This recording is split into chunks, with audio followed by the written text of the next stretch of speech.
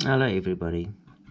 Okay, so this video is basically to show you how to keep how to power your Wi-Fi router when there's a power failure in your area. Your laptop is probably fully charged, but you have no Wi-Fi. So the first thing probably um, to determine is to go to your Wi-Fi router setup and look underneath what the voltage requirements are. This one, it says here uses 12 volts, 1 amp. Um, my fiber cable comes directly into this unit before going to the router part. And underneath here, you look for the same power requirements what's needed. Um, I'm just trying to see if it's on here somewhere. My eyes are not the best. Um, mm, this one doesn't really say but you can ready yourself pretty much for 12 volt or 5 volt. Okay. So you can see it's off at this point I'm simulating a power failure. Now, both these boxes use this kind of connector. And there's a few of these around. So you have to make sure that whatever um, plug you get is very close to, to your setup, what you have. And basically it just plugs in there. You'll see there. And this one is really the same at the back. So I mean this plug I've got here can fit here and it can fit there. In my case they're both very close. So even even though it might say 12 volt the unit the circuit board inside the circuitry might reduce it to only 5 volt and you'll only know that if you open them up but um, I don't really think you um, you know that that's beyond the scope of this. So first thing you need to do like I said is you must determine how many and if it says 12 volts you're gonna get you're gonna have to get something that's close to 12 volts. And there's a lot of ways that you can get 12 volts. You can use a car battery.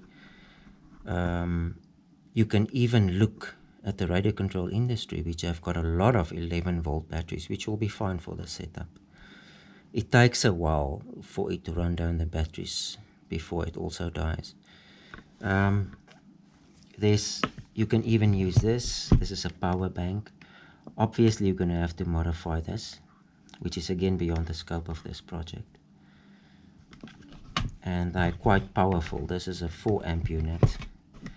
It will only put out um, 5 volts um, when it charges your phone. So you're gonna have to modify this but there's other videos already covering that. In my case because I fly radio control planes I had these batteries. And this is a 12 volt 3.3 amp um, nickel metal.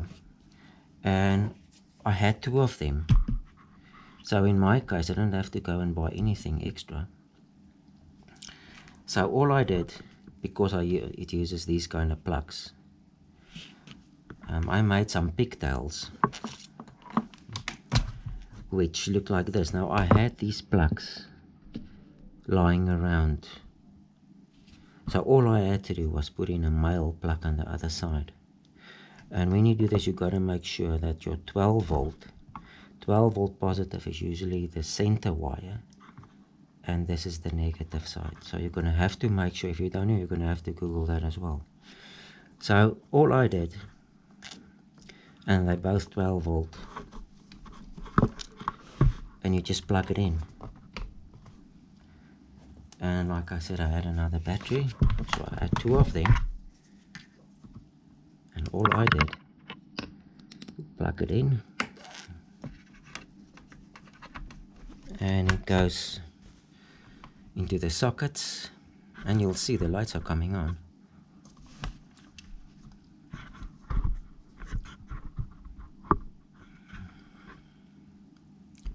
Now the fiber unit usually takes a while to come up.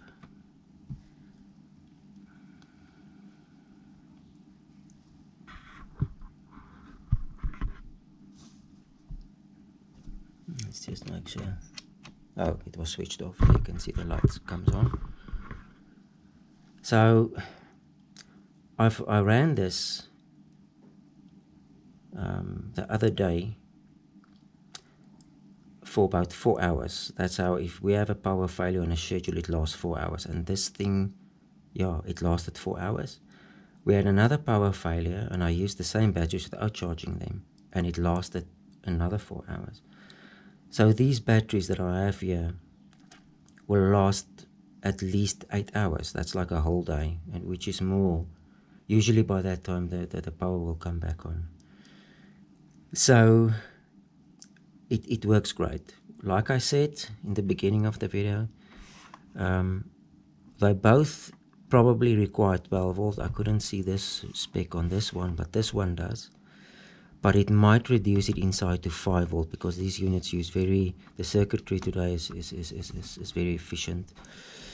Um, it probably reduces to 5 volt um, 1 amp and, or it might use 12 volts straight which doesn't really matter as long as your, your, your battery that you have meet the requirement that's stamped on the bottom of the unit.